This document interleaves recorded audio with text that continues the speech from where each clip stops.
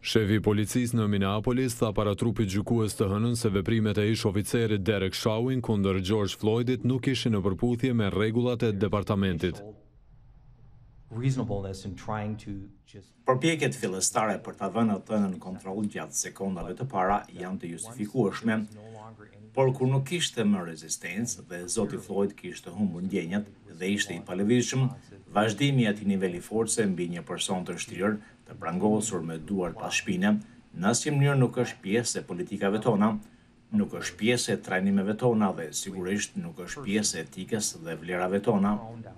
Ish-polici Chauvin akuzohet për vrasjen e afrikano-amerikanit Floyd duke i mbajtur gjurin në qafë për më shumë se nëntë minuta. Anëtarët e jurisë dëgjuan të hënën dëshmitë për praktikat e përdorimit të mjeteve shtrënguese të qafës. Rregulli i shtrëngimit të qafës thekson presionin e lehtë deri në atë të moderuar.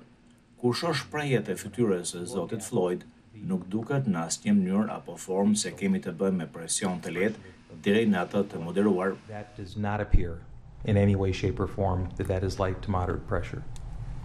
Profesionistët mjekësorë thanë se zemra e Zotit Floyd kishte pushuar kur ai ishte dërguar në spital.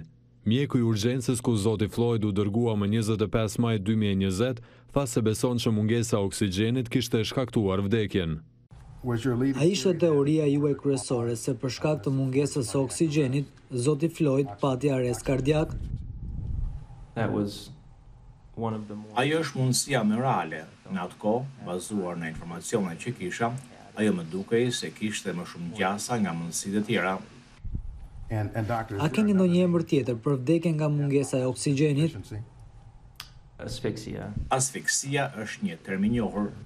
Avokatët mbrojtës argumentojnë se zoti Floyd vdiq nga probleme tjera shëndetësore dhe përdorimi i drogës, duke theksuar se fentanoli dhe metamfetamina ishin gjetur në trupin e tij.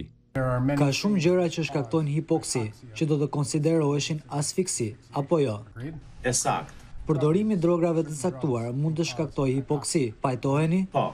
Vdekja e zotit Floyd nxiti protesta në mbarë botën në mbështetje të afrikano-amerikanëve, ku u vunë në pikëpyetje trajnimet dhe motivet e oficerëve të policisë.